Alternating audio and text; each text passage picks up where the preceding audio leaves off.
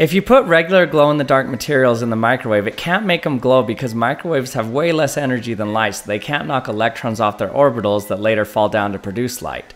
But if you use a different glow in the dark substance like this LIT pigment, then a very cool phenomenon occurs. You can actually thermally release light from electrons that are stored in a trapped state due to the light shining on it previously. So that means if we stick it in the microwave, it'll glow bright where it gets hot. So we can actually use a piece of cardboard with this pigment on it and stick it in the microwave to see the standing waves produced in the microwave. And if you measure the distance between two bright spots, you get 12 centimeters, which is the wavelength of microwaves. So this is so cool, just using glow in the dark pigment pigment, you can actually see the wavelength of microwaves.